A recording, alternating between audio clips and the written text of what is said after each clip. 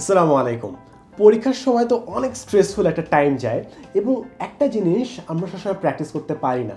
সেটা হচ্ছে, বাসায় হয়তো আমরা ম্যাথ প্র্যাকটিস করছি বাট এক্সাম হলে যে স্ট্রেসটা থাকে, ওই স্ট্রেসটা নিয়ে পরীক্ষা দেওয়া কিন্তু আমরা খুব একটা অহরহ প্র্যাকটিস করতে পারি না। আমরা তো অনেকেই জানি যে হোম গ্রাউন্ড অ্যাডভান্টেজ বলে একটা জিনিস আছে যে জায়গাটা পরিচিত, যে এলাকায় আমরা অনেকদিন খেলাধুলা করেছি, ওই এলাকায় যদি আমরা খেলাধুলা করি, আমরা একটা অ্যাডভান্টেজ পাই একটা কনফিডেন্স থাকে এক্সট্রা কিন্তু আমরা যখন পরীক্ষা দিই, আমাদের কিন্তু হোম গ্রাউন্ড অ্যাডভান্টেজটা কখনো থাকে না। আমরা হয়তো আমাদের বাসায় কিংবা আমাদের কোচিং সেন্টার একটা পার্টিকুলার রুমে আজীবন পরীক্ষা দিয়ে এসেছি।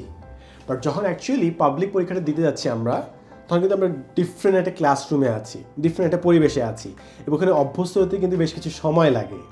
তাই আমরা প্র্যাকটিস ঠিকই করছি বাট স্ট্রেস নিয়ে পরীক্ষা দেওয়া হয়তো অনেকে প্র্যাকটিস করছি না।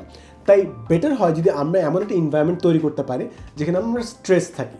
ফর এক্সাম্পল মনে করো তোমার ম্যাথ সেগমেন্টের জন্য তোমাকে ষাটটা প্রবলেম সলভ করতে হবে। ষাটটা প্রবলেম সলভ করার জন্য তোমার সিক্সটি মিনিট তো তুমি যখন নর্মালি প্র্যাকটিস করছ সিক্সটিটা প্রবলেমের জন্য ফর্টি ফাইভ মিনিটস করে নাও। ওইটা তোমাকে অটোমেটিক একটা স্ট্রেস দেবে। তুমি দেখতেছো যে তোমার টাইম নাই, তোমার টাইম কম ইউর হ্যান্ডিক্যাপ সো অটোমেটিক তোমার উপর একটা স্ট্রেস দেবে। কিংবা মনে করে এক্সাম হলে কি হয়? তুমি বাসায় তোমার শান্তি মতো পরীক্ষা দিচ্ছ প্র্যাকটিস করছ দরজার জানা লাগিয়ে কানের মধ্যে ইয়ারফোন গুজে পুরো নয়েজ ক্যান্সেল করে পরীক্ষা দিচ্ছ।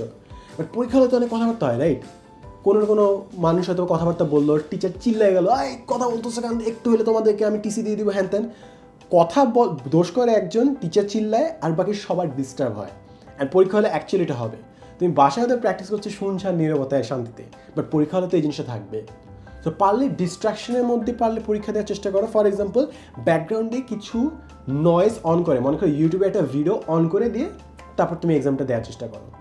দেখবা, অনেকের জন্য কিন্তু প্রথম প্রথম এক্সামটা দেওয়া খুবই টাফ হয়ে যায়। কিছুটা চলছে, আমি ঠিকমতো ফোকাস করতে পারছি না। But that prepares you to focus well কিংবা ছোটোখাটো জিনিস এক্সাম হলে কিন্তু আমাদেরকে অনেক থ্রু অফ করে ফেলে। ফর এক্সাম্পল অনেকে হয়তো সবসময় স্ট্রেট টেবিলে পরীক্ষা দিয়ে আসছে। অনেক জায়গায় টেবিলগুলো একটু কাত করা। সো অনেকের জন্য কিন্তু হার্ট বেন করে যারা লিখে তার জন্য অনেক ক্ষেত্রে টাফ হয়ে যায়। তো ছোটোখাটো কয়েকটা জিনিস তোমার কিন্তু অনেক থ্রো অফ করে দিতে পারে। তো একটা জিনিস অফকোর্স হবে, তুমি যখন নিজে প্র্যাকটিস করছ, নিজের উপর একটু এক্সট্রা প্রেশার দাও, যেন তুমি স্ট্রেস হ্যান্ডেল করে আস্তে আস্তে প্র্যাকটিস করতে পারো। সেকেন্ড জিনিস হচ্ছে, যখন তুমি জেনে যাবে যে কোনো একটা পার্টিকুলার জায়গায় পরীক্ষা হচ্ছে, পারলে কয়েকদিন আগে যে জায়গাটা ভিজিট করে আসো। বিকালবেলা যখন ইনস্টিটিউশনটা বন্ধ থাকে, মানুষ আসতে পারে, তখন একটু ভিজিট করে আসো, একটু বসো টেবিলটাতে এক্সপ্লোর করে দাও get use to that area কারণ যখন একটা পাবলিক এক্সাম হয় এসএসসি কিংবা এইচএসসি প্রথম দুই, তিন দিন কিন্তু জায়গাটা তবু আননোন মনে হয়। তিন নাম্বার, চার নাম্বার দিনের পর থেকে পরিচিত মনে হয় বিকজ তুমি অনেক সময় এখানে কাটিয়ে ফেলছো, ছয় ঘণ্টা কিংবা সাত ঘণ্টা। So the target would be যখন নিজে প্র্যাকটিস করছ স্ট্রেস নেওয়ার চেষ্টা করো, যেন তুমি আরও প্রিপেয়ার ভালো মতো হও। অ্যান্ড সেকেন্ড জিনিস হচ্ছে, যখন অ্যাকচুয়ালি এক্সামের জন্য তুমি ডেট জেনে যাবা টাইম জেনে যাবা লোকেশন জেনে যাবা, আগে থেকে ওই জায়গাটার সাথে পরিচিত হয়ে যাও। তাহলে হোপফুলি তোমার প্রিপারেশন থাকলে তুমি ঠিকমতো পুল অফ করতে পারবা।